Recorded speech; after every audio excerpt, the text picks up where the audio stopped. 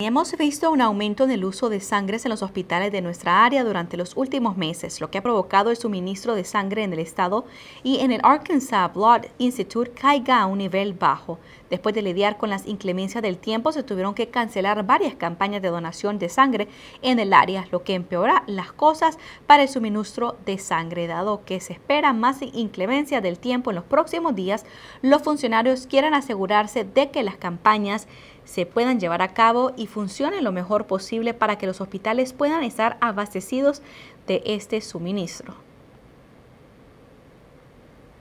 El no ver la cantidad de donantes que esperábamos hace que sea un momento peligroso y lo que estamos tratando de hacer es evitar una emergencia de sangre, pidiendo ayuda a los miembros de nuestra comunidad de Fort Smith para venir y donar sangre en nuestra campaña de donación de sangre que vamos a realizar aquí en Fort Smith. Y para saber en dónde usted puede donar, puede ingresar a nuestra página web latinoTVAR.com donde tendremos una lista completa de todas las locaciones.